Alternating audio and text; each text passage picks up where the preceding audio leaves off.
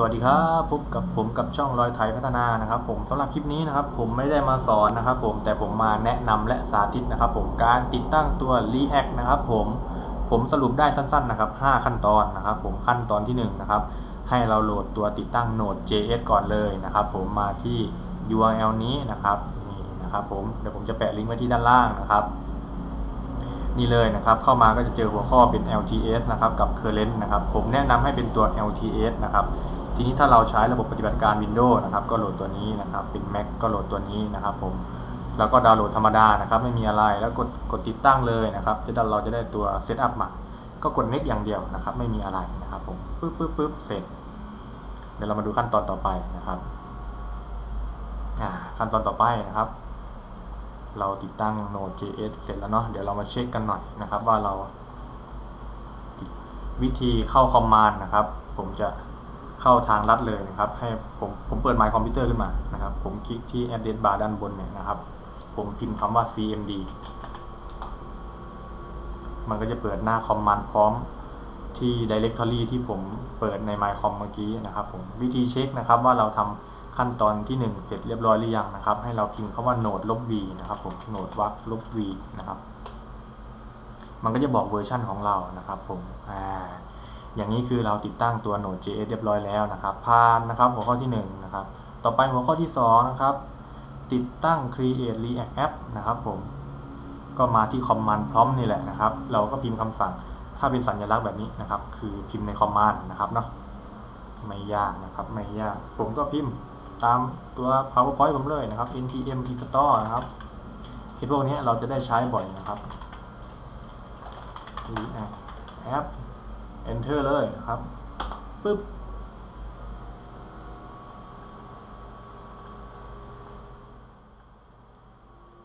อ่าเดี๋ยวจะงงนะครับ ผมปิดไป ปิดไปก่อนนะครับ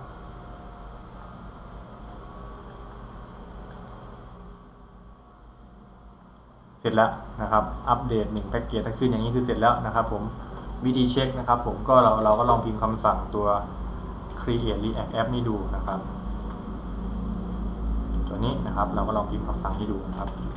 ว่าใช้ได้หรือยังนะครับอ่ามันก็จะบอกตัวอย่างคร่าวๆนะครับ example นะครับ วิธีใช้นะครับ เราก็พิมพ์คำสั่ง create react app ตัวนี้นะครับวรรคนะครับ ตามด้วยชื่อโฟลเดอร์หรือชื่อโปรเจกต์ของเรานะครับ ตอนนี้เราเสร็จขั้นตอนที่ 2 ไปแล้วนะครับผม ต่อไปขั้นตอนที่3นะเข้าไปยังโฟลเดอร์ที่จะเก็บงานนะครับ ที่เราจะสร้างโปรเจกต์ของเรานั่นแหละนะครับ วิธีเข้าทางลัดของผมเลยนะครับ ผมเข้าให้ดูแล้วทีนึงนะ สมมติผมจะสร้าง ผมมีโฟลเดอร์ชื่อรอยไถพัฒนาเนี่ยนะครับ ผมจะเข้าไป ผมจะเก็บงานต่างๆของผมนะครับ ผมจะสร้างโฟลเดอร์ไว้ที่นี่นะครับ ผมผมก็มาที่คลิกตรง address bar ด้านบนตรงนี้นะครับ ตรงนี้นะครับเนาะผมก็คลิกแล้วผมก็พิมพ์คำว่า cmd มันจะเปิดหน้า command พร้อมให้ผม หน้า command เนี่ยนะครับ แล้วเราก็พิมพ์คำสั่ง create react app นะครับ เว้นวรรคตามด้วยชื่อโปรเจกต์ของเรานะครับผม ผมก็พิมพ์เลย เว้นวรรคนะครับ ผมใช้ชื่อว่า my app ละกันนะครับผม enter นะครับ ระหว่างนี้นะครับ รอ รอสัก รอสักพักใหญ่ ๆ นะครับผม ขึ้นอยู่กับอินเทอร์เน็ตของเรานะครับ มันก็จะติดตั้ง ตัวซอสโค้ดให้เรานะครับผมเดี๋ยวรอสักครู่นึงนะครับ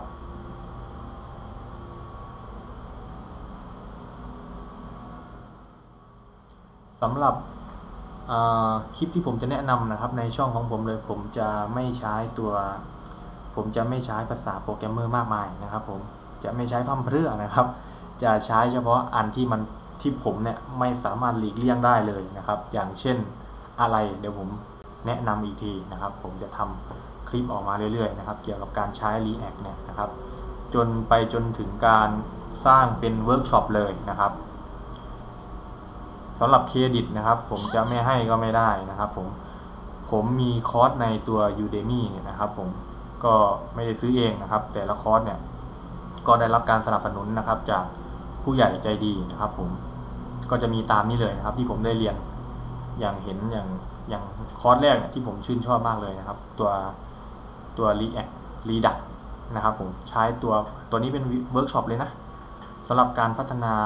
ตัวเว็บอีคอมเมิร์ซนะครับ ใช้สำหรับเดี๋ยวผม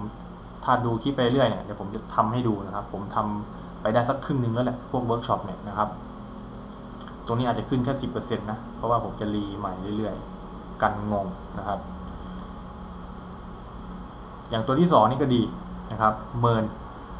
M E R N เนี่ยเดี๋ยวผมแนะนำนะครับ ซึ่งจำเป็นมากนะครับ M E R N M ก็คือ MongoDB นะครับ เราจะใช้ MongoDB เนี่ยเป็นฐานข้อมูลนะครับ E นะครับ Express.js นะครับผม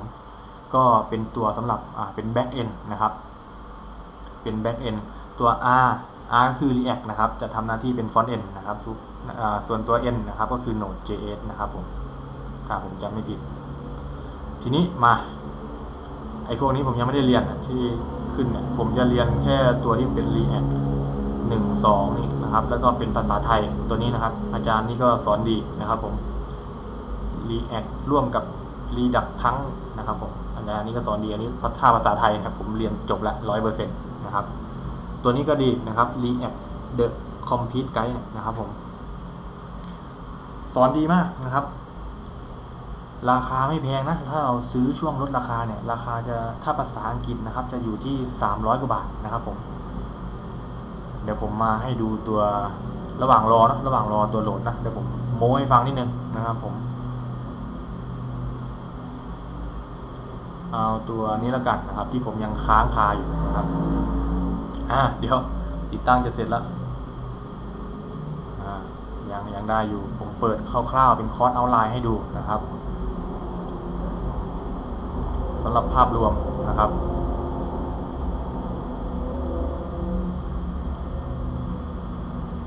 คอร์สเนี่ยอาจารย์แกสอนดีมากเลยนะ เนี่ยเดี๋ยวผมให้ดูตัว demo นะครับ ขออนุญาตนะครับผม นี่เลย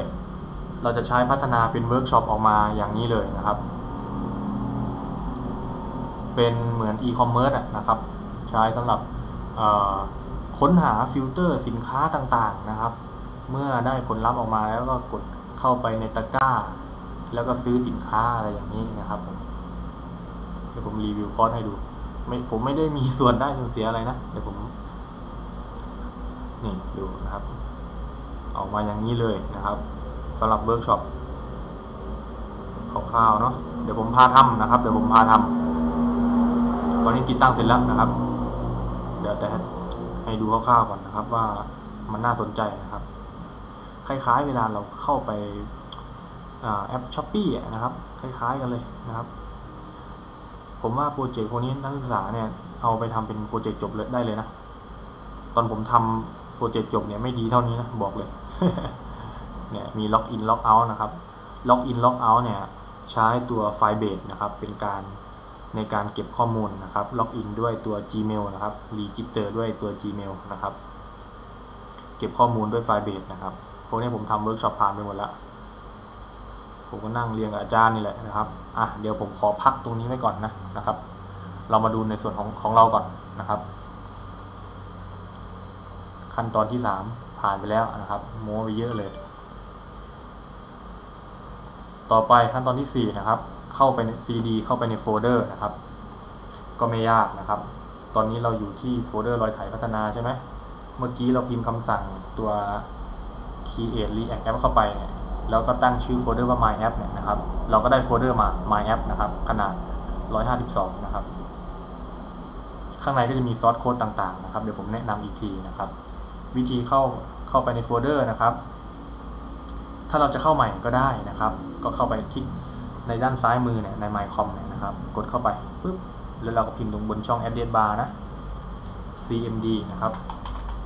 มันก็จะเปิด directory นี้มาเลยนะครับผม แต่ถ้าเรายังไม่อยู่นะอยู่หน้านี้นะครับ เราก็พิมพ์ cd แล้วก็ my app ก็เข้ามาได้เหมือนกันนะครับสมมติผมใช้อันนี้แล้วกัน เดี๋ยวจะงงกันอะเมื่อเข้ามาแล้วนะครับ ตอนนี้เราอยู่ใน my app แล้ว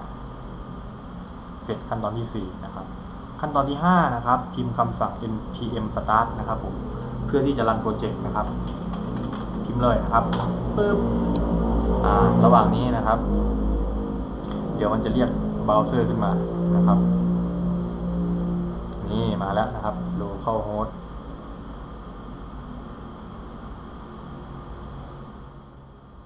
เดี๋ยวรอสักครู่นะครับผม สำหรับคลิปนี้นะครับ ผมก็จะจบที่การติดตั้งตรงนี้ก่อนนะครับเนาะถ้ามีประโยชน์นะครับ ผมอย่าลืมกดติดตามนะครับ เพื่อเป็นกำลังใจให้ผมด้วยนะครับ ขอบคุณครับ เดี๋ยวคลิปต่อไปเนี่ยจะพามารู้จักคอมโพเนนต์กันนะครับผมและการปรับแต่งหน้าเว็บนิดหน่อยนะครับผมสำหรับคลิปนี้ก็เท่านี้นะครับ ขอบคุณครับ